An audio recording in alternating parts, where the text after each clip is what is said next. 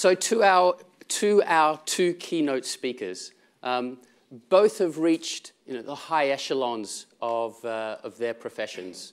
One in the corporate sector, one in the, in the uh, public service sector through the military. But both experienced very different journeys when it came to coming out, both in terms of process and also in terms of timing. Lord Browne of Madingley is the former CEO of BP, and I think the most common asked question this morning has been, when were you last in the Shell offices? um, so, uh, former CEO of British Petroleum, a position that you held for 12 years. Um, he was also the company's head of exploration and production.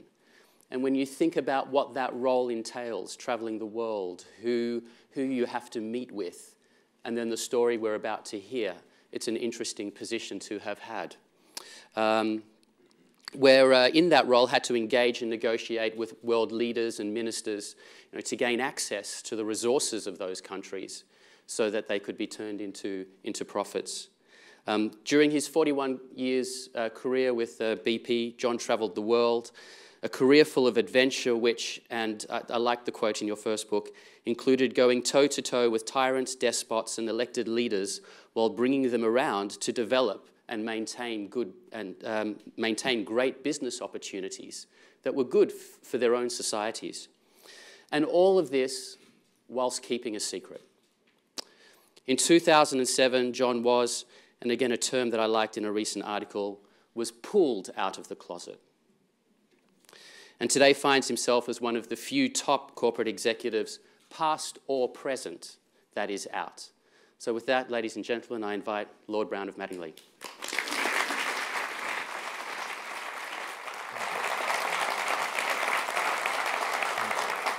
Uh, ladies, ladies, and gentlemen, good morning.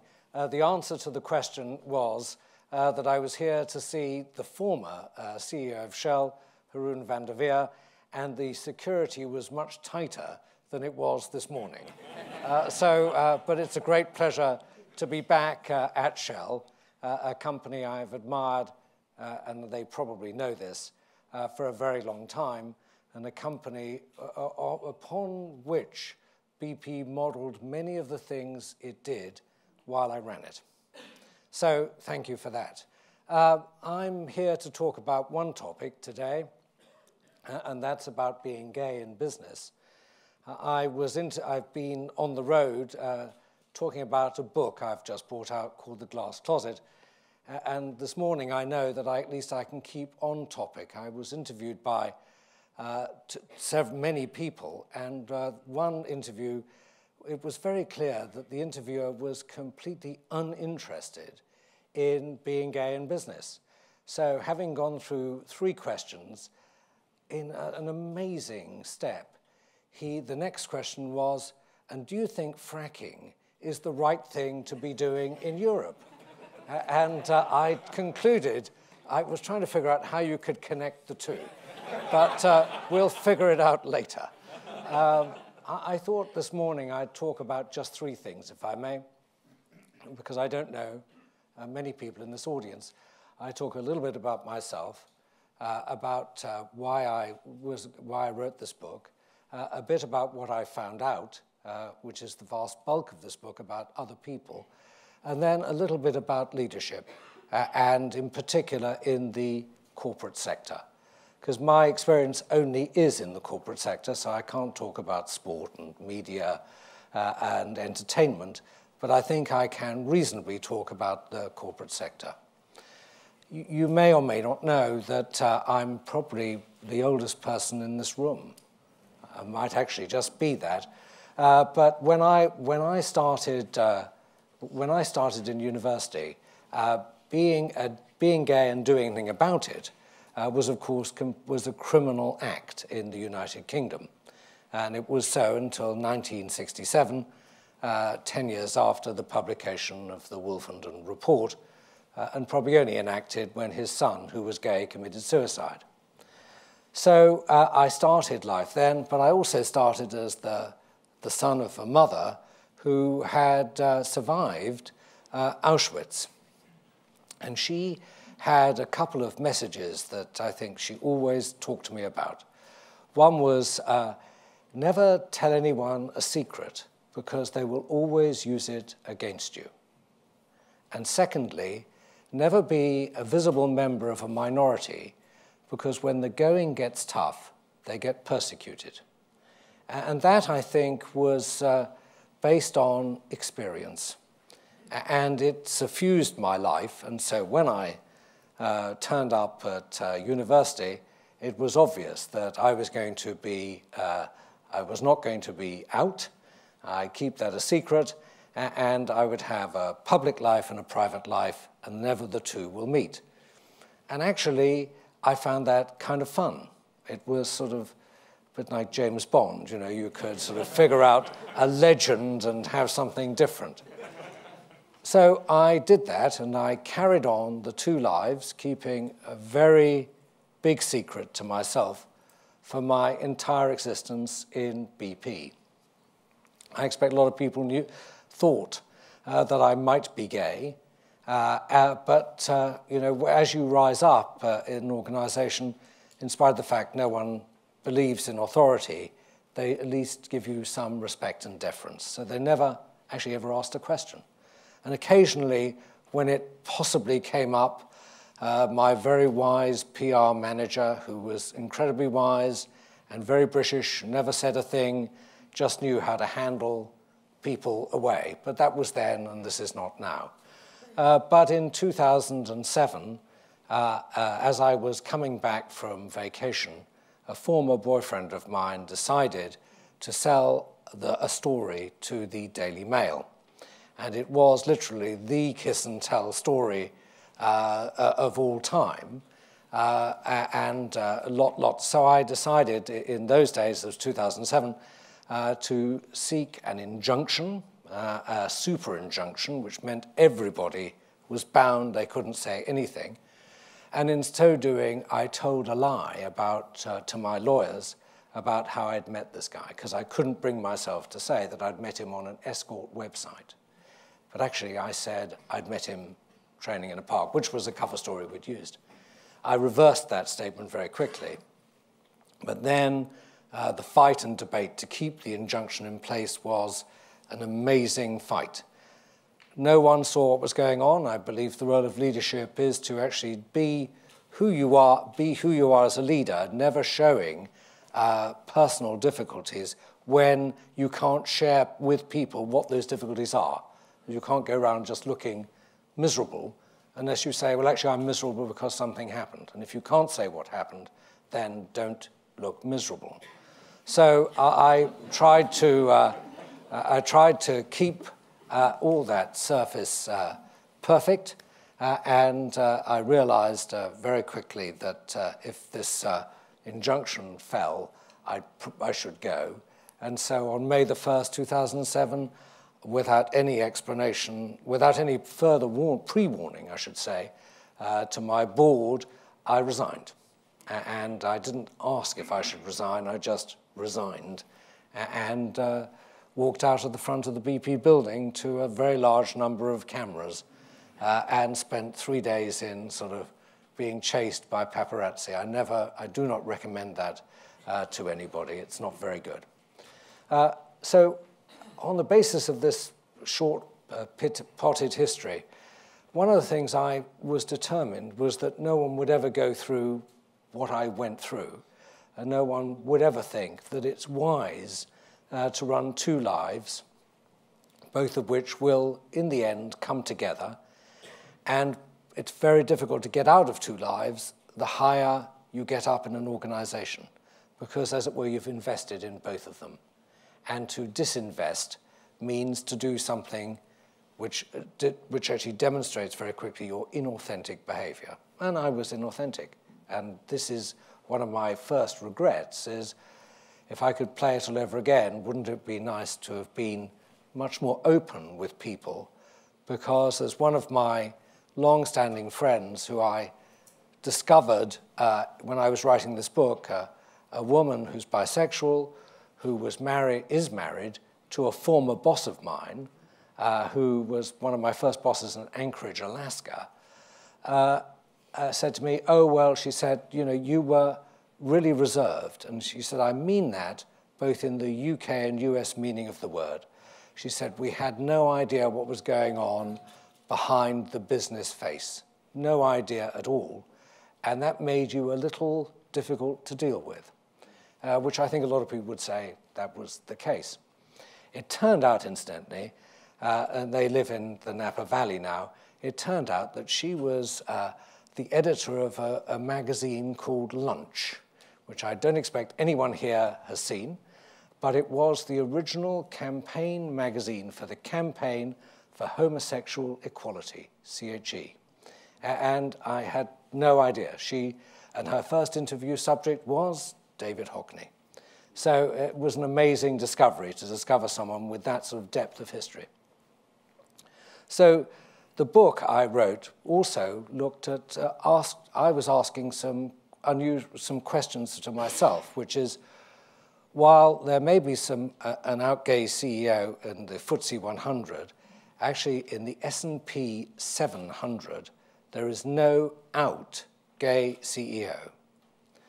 This is a measure of the large corporations headquartered in the United States or, or listed in the United States, which I found statistically difficult to believe. I mean, it just seems unlikely. I mean, I'm I'm a scientist, so I deal with probabilities, but it seems vanishingly unlikely that this is a true reflection of what is.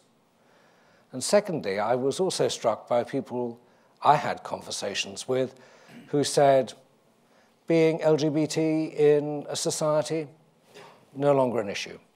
I mean, I was talking to people just after uh, we'd passed uh, the law to uh, allow same-sex marriage. Uh, I was sitting in the House of Lords and I was doing quite a bit on that. And people said, well, there we're done, you see, everything's done, no problem, and we don't know what, what no issues. And I thought to myself, I wonder if that's really the case. Uh, I don't think so, but a lot of people do. And I think maybe sitting in a bubble in uh, Whitehall in London, you might well think that's the case, or sitting in New York, you might well think that's the case. You just need to move to Watford or to just outside Brooklyn, and there'll be a different uh, situation. So I was then pushed by a friend of mine, said, got to write a book just to see how you could help people.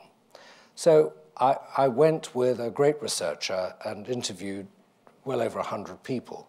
And I found some very extraordinary things, which maybe uh some examples, not necessarily in this room, but in other rooms.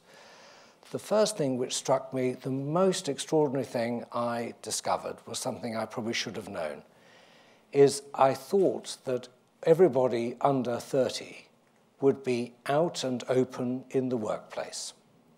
I was sort of convinced that, you know, this is, a, I'm a dinosaur, you know, this is the new generation, it's obvious, and how wrong I was how, how wrong I was, and how much uh, fear uh, existed, how much fear existed in the minds of so many people we interviewed. In fact, they all wanted to be anonymous, these people, and, and there's a limit to the number of anonymous interviews you can put in a book. Otherwise, people say, have you made it up, you know? But uh, I, there was one story. We actually interviewed a, a person, I can't even say which sex, a person, and we had to in order to interview, uh, we were told, you know, it was virtually, I'm caricaturing, take the number seven bus to the third stop, change, get on the 14, and go to the fifth stop, sit in a cafe reading the uh, Times, and, and someone will come in wearing a red carnation. And then we'll both go to a second cafe to have the interview, and it'll be miles away from my office. That's the sort of thing. We had people who, when we read back interviews, would say things like, uh, You mean you're saying I live in London? You can't do that. They may be able to identify me. I mean, there are 10 million people in London. so I, I, say this because the question is, is why? And, and the common themes were pretty obvious. First is, I don't want to be caricatured. I don't want this to get in the way of my promotion. I don't know whether it will or not. And I don't want my peers to use this as a weakness in order to exploit me in some way. And those, I think, were sort of common fears uh, of many, many young people uh, that we talked to. we equally talked to many people who had, uh, who had had a, a completely symmetric whole self life in corporations. And they'd come and they'd done wonderful things and they'd been themselves in the workplace. And to a person would say, and my productivity has risen because I was able to actually participate fully in the life of a society, and all business is a society. And that, I think, is really important. Every study shows that when people bring their whole selves to work, uh, you know, the amount of uh, energy uh, and the amount of innovation goes up. There's no doubt about it. Um, so, uh, and in fact, uh, I think uh, many people would say the following, and don't take me incorrectly. since I'm a member of two minorities, I believe I'm equally qualified to say this, that it's broadly the case that members of minorities overachieve in order to compensate the fact that they're actually in uh, minorities. And uh, so, in, in getting minorities to work really well, you tend to get a better a package on average uh, inside a corporation. So, these are very important, I think, points that, that came through uh, the interviews. I was also surprised uh, to find out uh, one other point, which was this that in speaking to the few sportsmen who are out, uh, uh, sports people, I should say, because it was Martina also, very few people, they would say the following The reason why we didn't come out, most of them, until we retired, was that if the team lost, they would all point at me and say that I'm the reason for the loss because I'm the weak link in the chain. And uh, my, my friend, who's the, uh, uh, the Bundesliga uh, footballer, uh, who I talk about in my book, was, I think, the person who really said, you know, believe me, this is not about fans, this is about teams. And teams are a very important theme, I think, in trying to get this right. I've got a few more minutes. So the final point I want to make is this. So right, I just deliver on time, I hope. Uh, the final point I want to make is, is this. It's about uh, leadership. I, I, think whenever you look at a, a company, uh, a corporation, in order to get anything done, you've got to translate whatever you want into the language of business. It's, it's antithetical to be in business and talk in a language that doesn't work in a business framework because everyone comes to a place of business to do something which is productive for the business. Those in the outside world would say, who are not in corporate life, would say, absolutely. And your business is the following to maximize short term profits and keep yourselves out of jail. Only two, two objectives. I think that's not right. Uh, and I expect, I would hope, that most people here don't share that view of corporations, although we've got a lot of, lot of work to do to make sure other people uh, don't share that view of corporations. But the, the, the, what happens in a corporation is complex, in my view, and but it does, however you slice it, start with what is the leader, and I mean the position of the leader, leader after leader, wants to have achieved. And again, in my experience, and I've sat on lots of boards and run a big company, is, and I talk, criticize myself as well in this, is that leaders feel impelled to use the language of hard edge strategy and performance in all matters and squeeze out human matters in most of their target setting and dialogue. And the reason they do that is, of course, the pressures from the outside world. And they think, you know, one size fits all. But actually, it's not necessary, it's never necessary for the leader to spend all that time talking about profitability. There are plenty of other people around the leader who will do that. And actually, it's not necessary to talk about it internally that much because it's part and parcel of performance. But by doing that, they squeeze out the time they could spend talking about the team. And the team is, of course, the most important thing. I mean, I sit in my private equity guys and remind myself that the only thing I'm really doing is picking people. I'm only looking at teams. And actually, I think when I reflect on BP, I spent more time doing that. I did it by being in the closet as well, but nonetheless, picking teams is the most important thing and talking to the team. So leaders have to spend a lot of time being unremittingly committed, and I do stress unremittingly committed to all dimensions of, of inclusion. And unremitting means unremitting. In other words, they have to say what they want, establish a metric, usually survey based, and go round and saying, why is it not working? Tell me about this. Tell me about this again and again. And things, surprisingly, move. They always do. They always move. But the most important thing, and again, when I talk to lots of companies, is they say, well, it's fine the leader's saying that, but nothing's happening. You know, there's a big, as always, the story of the middle. Uh, it's tough to penetrate the middle. The answer is everybody's a leader, and you've got to keep pushing everybody to say the same thing. To me, that's really important. I think the second thing, which is really important in this area, is for people to have role models. I, I, think in any walk of life, if you can identify a little piece of yourself in somebody else, it gives you confidence and security that you're doing the right thing. And actually also might remind you that mistakes are made and life is not perfect. But I, I think identifying and having the role models is really important indeed. So my book is about all these things. Uh, the clock is two minutes to 10. Uh, I, I, think I've finished on just one, one thing. First, I, I do think I don't want people to repeat what I did. I think it's not a good idea. Secondly, if anyone thinks this is a business which is finished, they need to think again. Thirdly, leaders need to work very, very hard indeed, both in their own signaling and picking and talking about role models.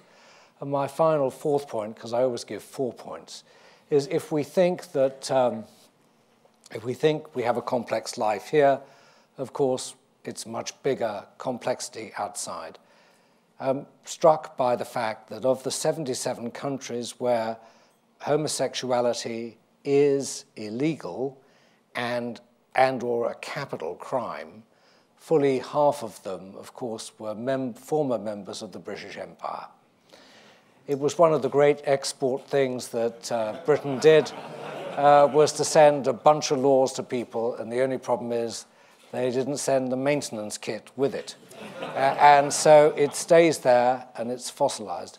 It's very important that we just remember that if we think there are any problems around here, we might just reflect on the very large problems that so many people have in the world. I think it will give us a sense of place and position which is much more appropriate for people who should uh, behave with dignity. Thank you very much.